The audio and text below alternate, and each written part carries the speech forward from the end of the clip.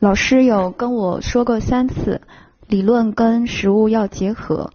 嗯，想请老师具体指点，就是针对我这样的情况，就是理论和实物如何更好的结合应用起来。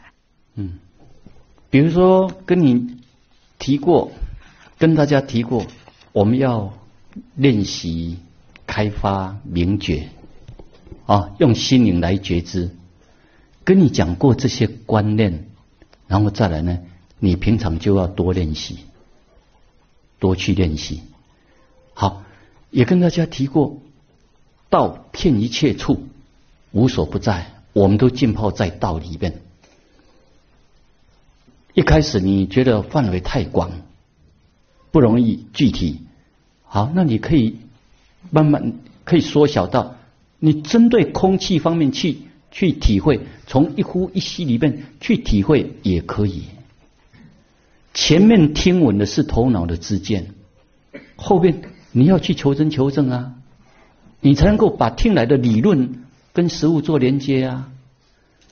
为什么说道骗一切处？道不可虚于理，道骗一切处，道不可虚于理。好，这是理论观念呢。那你怎么去求真求证？怎么去证明？从哦，我有跟大家介绍啊，未显象的是空无。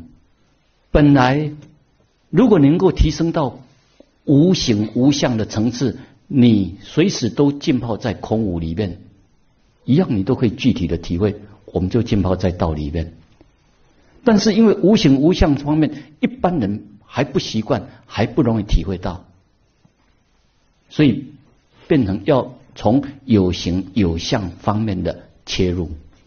有形有相方面的，从空气，因为空气、水、食物这些都是道的化身，道的显象嘛。它是道显象出来，显象出来还是属于道啊。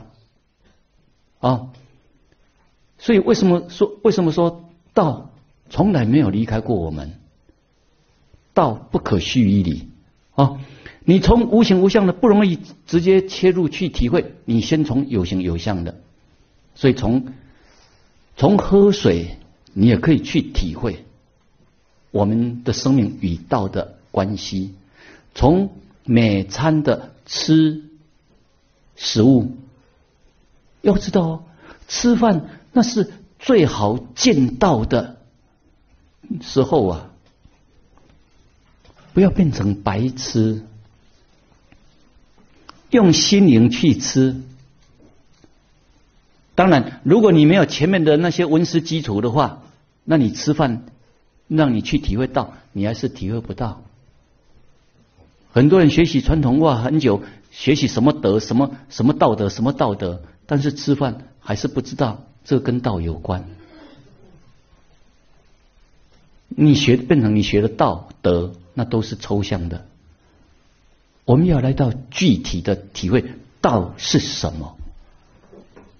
你具体的体会道是什么，那你才能够所谓的见贤思齐，也会从与道的连接体悟里面，他会。启发出你内心本质具足的明德、道德、明德，你体会越深，你就自然的会流露出来啊。所以从喝水、吃饭，从一吸一呼，你都可以去体会。这样的话，道它。不抽象啊，不是理论呐，不是知见呐，它是实相的存在。问题是一般人为什么很多人学习《道德经》学习的很很久，还是一样觉得我还要到处去找，我还要再到处去修，这个还不够，我还要再看什么？这个不够，我还在看什么？因为你都只是停留在头脑的世界。停留在头脑的之间，所以我都跟大家提到啊，前面提到悟道，再来你就是要去行道，体道悟道，那个都是一个求真求证的过程。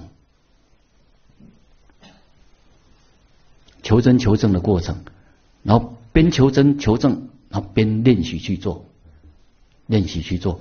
你没有练习去做，你没办法深入；你有练习去做，你深入之后，你再回来体道悟道，那就会更深。所以那个那个体道悟道行道，它是不断的在，就像那个呃弹簧哈。弹簧那个螺旋状的，它是一个螺旋状，但有没有在成长？它是有在成长的。提到第一个阶段，提到悟道是在这个层次，好，它慢慢的、慢慢的提升上来，提到悟道、行道，到后面有一天你真正做到，你就是自然的与道合一。这个就是把理论跟实物要做结合，把抽象跟实相要做结合，OK 好。